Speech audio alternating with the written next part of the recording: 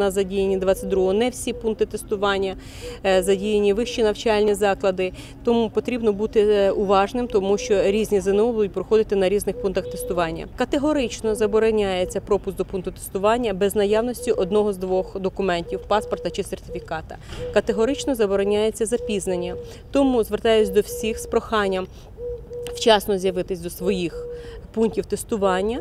Е, Запуск до пунктів всіх тестування розпочинається об 10.15 і припиняється е, об 10.50.